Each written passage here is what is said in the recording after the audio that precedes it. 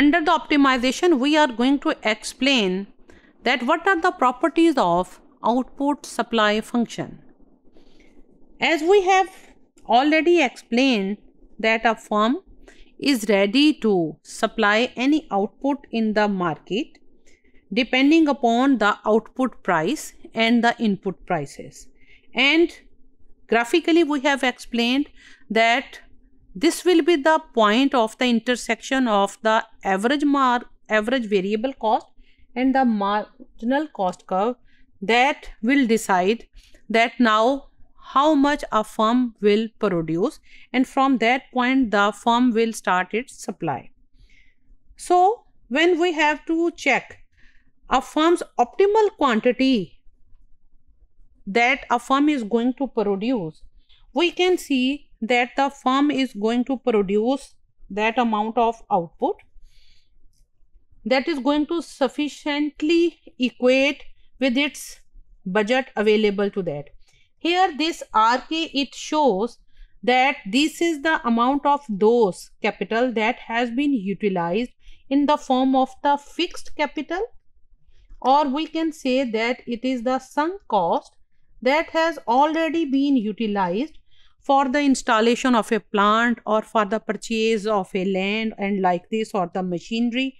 So this cost is there and this K bar and this this shows now the variable cost.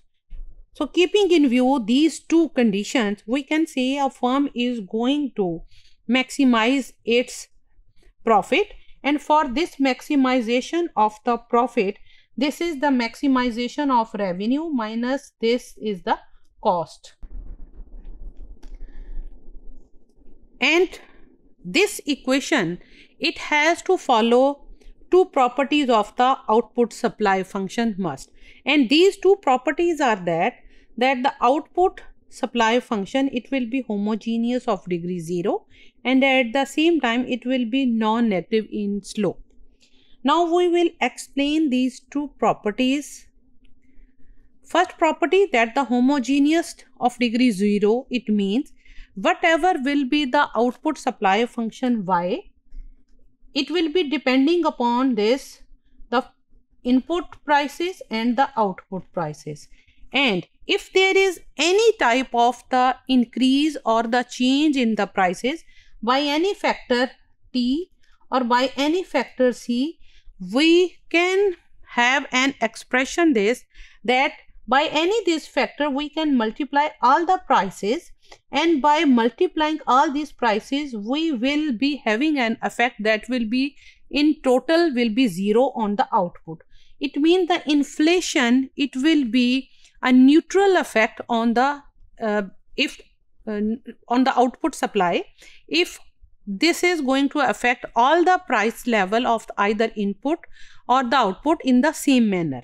If this incremental change in the prices is different then we can expect something different. And this second property it is that the supply function it must have a non-negative slope. It means whatever will be the change in the output with reference to the output price there will be at least a positive change in the output with reference to output price. Now when we explain this that we can see that this supply function is always the derivative of the profit function. And this function is already homogeneous of degree 0 in all the prices. Mean if we double all the output and the input prices then there will be no change in the firm supply behavior.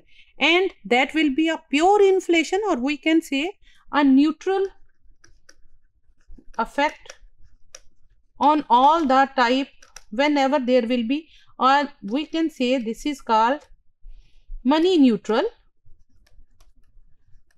That whatever will be the change in all the price level of inputs and output if of the same level there will be no change in the output.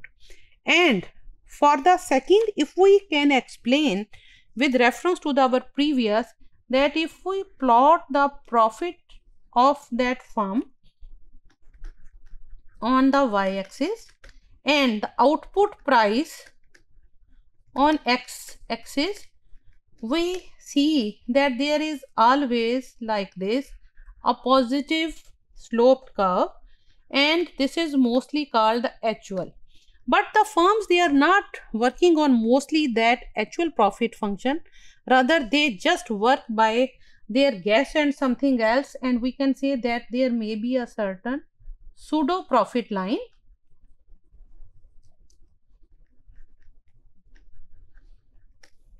And this pseudo profit line is like that that the actual price line it above than this tangency point.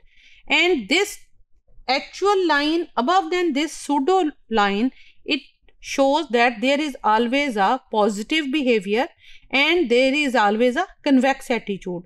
So it shows that the supply curve will be positively slope